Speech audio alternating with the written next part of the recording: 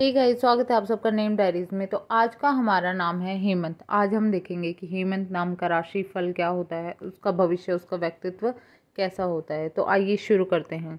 अगर आप अपने बच्चे का नाम हेमंत रखना चाहते हैं तो आपको उसका अर्थ पता होना चाहिए, जिससे आप अपने बच्चे को, बच्चे के जीवन को एक नई दिशा दे सकते हैं। हेमंत नाम का अर्थ गोल्ड या भगवान बुद्ध होता है। इनका शुभ अंक दो और इनकी राशि कर्क होती है। कर्क राशि का स्वामी ग्रह चंद्रमा है। भगवान शंकर को कर्क राशि का आराध्य देव माना जाता है। इस राशि के हेमंत नाम के लड़कों में पाचन तंत्र काफ़ी कमज़ोर होता है, जिस वजह से अक्सर पेट की समस्याओं जैसे गैस, कब्ज आदि से ये पीड़ित रहते हैं। इनके पेट, हर्ट और छाती के रोगों से पीड़ित होने का खतरा काफ़ी ज़्यादा होता है। कर्क राशि के हेमंत नाम के लड़कों में चेचक और कैंसर होने का खतरा भी काफ़ी होता है।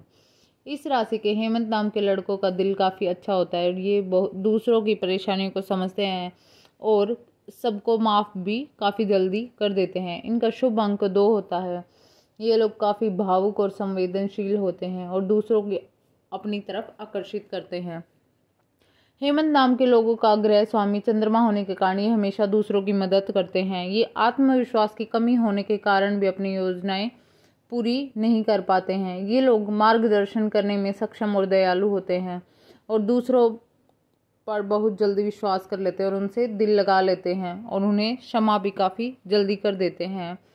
हाँ हेमंत नाम के लोगों की राशि कर्क है और इन्हें लड़ाई झगड़ों से दूर रहना ही पसंद है। आज के वीडियो में बस इतना ही। Thank you